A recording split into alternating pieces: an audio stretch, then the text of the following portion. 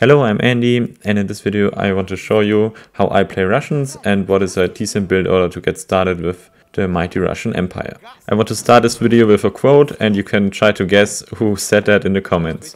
The quote is, quantity has a quality all its own and it perfectly describes the strategy we are going to use for Russians in Age of Empire 3. We don't have the best units, but it doesn't matter because we have so much more than the enemy, and it's all powered by the massive amount of map control we are going to get to support our massive army. So it's basically like Russia in real life.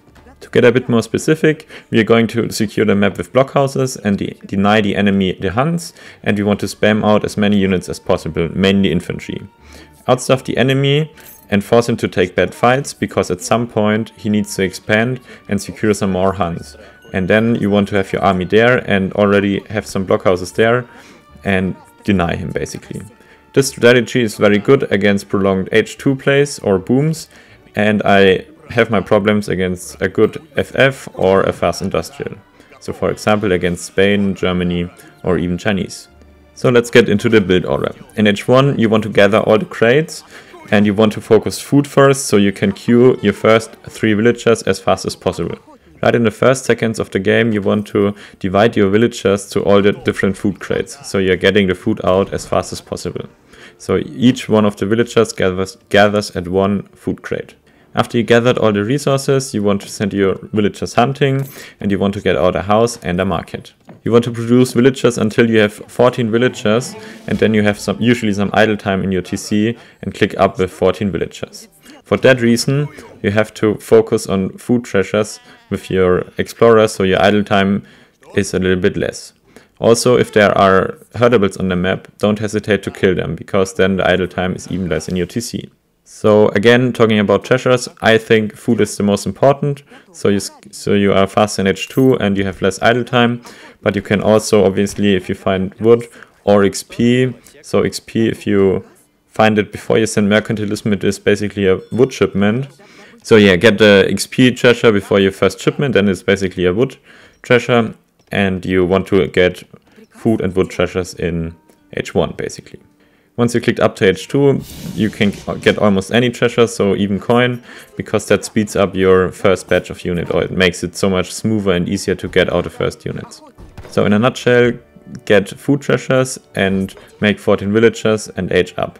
Use the quartermaster to age up. During age up you want to send all your villagers to wood until you gathered 300 wood, so you can make a blockhouse and get hunting dogs upgrade. Send two villagers forward and place the blockhouse in the face of your enemy. So you want to secure at least one or two hunts, but you also want to plant it in his face so he can't move out of the out of his base without you seeing it. After you've placed your blockhouse, um, retask all your villagers, so you want to send 1 to 3 to coin, depending on how much um, coin treasures you've got, and the rest again to food. During Age-Up you also want to get out one more house, so that should be enough with the mercantilism card and also you want to queue another 3 villagers. Some variation of this build would be to skip the first 3 villagers and get out 5 musketeers earlier, but I like to play more economic. About card progression, so in Age 1 you send Mercantilism card, which is the wood trickle, so it's equ equivalent to 2 to 3 villagers gathering wood all the time. So because Russians don't have villager shipment, that's the best thing you can send, usually. In Age 2, send a 5 Cossack shipment as soon as you can. So once you hit Age 2, you want to send a 5 Cossacks and you want to let them pop out at your forward blockhouse. And you also want to queue 5 Musketeers once you can. To get a Steel Traps upgrade and to continuously produce Musketeer production, you will need around 4 villagers and coin. So usually I'm just going to send the first batch of my villagers in Age 2 to the coin mine gather the 400 wood you get from the Age-Up and you should be able to get the steel traps and some houses. Let your Cossacks arrive at the forward blockhouse and try to get a villager or two with raiding, but don't commit your units and avoid unnecessary fights. Remember you want to put on some pressure and see what the enemy is doing, you don't want to kill him outright. So yeah, this is basically the name of the strategy, you are just going to um, try to put on some pressure, but don't commit to big fights un unless you know you can win. This means you're trying to kill you're trying to kill his herding villagers, maybe some TPs or something which is exposed on the map. You don't want to fight under his TC until you have at least 50 units. So and even then if you haven't won a fight before, it's probably also a bad idea. So again, the game plan for you to win is um, to secure the hunts and wait until the, en the enemy runs out of hunts and then he has to take bad fights at some point and you are happy if he takes bad fights and then you win the game at some point. Let's quickly talk about card progression. So usually you're sending Mercantilism first. This is like almost always the best choice. The second card is also in most builds the 5 Cossacks. The third card I usually take Spice Trade. I know that's very greedy of me, but um, I really like the card, so my hunts last longer and my villagers are gathering food faster. But um, you can also take 700 food or 4 Cossacks or even 13 Strelets, depending on if you want to be aggressive or not.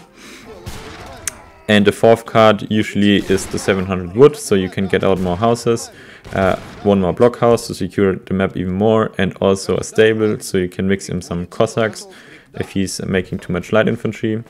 Depending on how the game is going, you can, after the fourth card, after, after the 700 wood, you can send even more crates to get even more units out.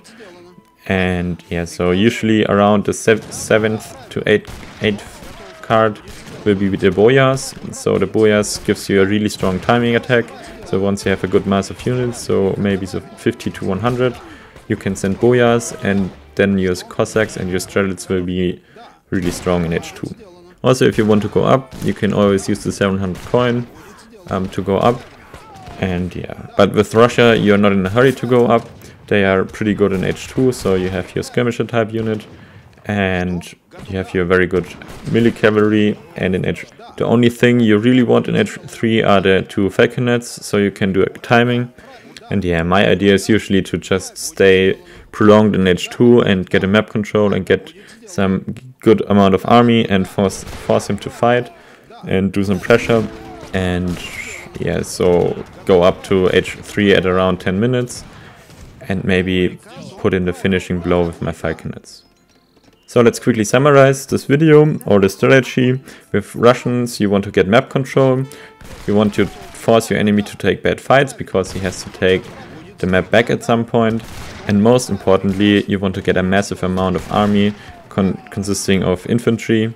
And to really get a feeling right of playing Russians, you probably have to turn on the Red Alert 3 soundtrack, maybe some Soviet March, but this is just my, my idea on how to play Russia. Obviously you can tune around with your build order a little bit, um, but this should give you some basic ideas on how to get started. Thanks for watching and see you guys around. Bye bye!